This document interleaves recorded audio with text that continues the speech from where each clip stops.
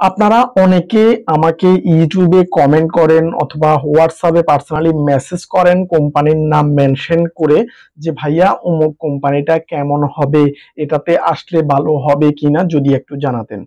দেখুন, আপনারা যে সকল কোম্পানির নাম আমাকে মেনশন করে পাঠাচ্ছেন, আমি কিন্তু পাবলিকলি সেই কোম্পানির নামগুলা ধরে আপনাকে ভিডিওর মাধ্যমে বলতে পারব না। আর অনেকগুলা কোম্পানি আছে, সেগুলা কোম্পানি সম্বন্ধে আমার ভালো একটা ধারণাও নাই।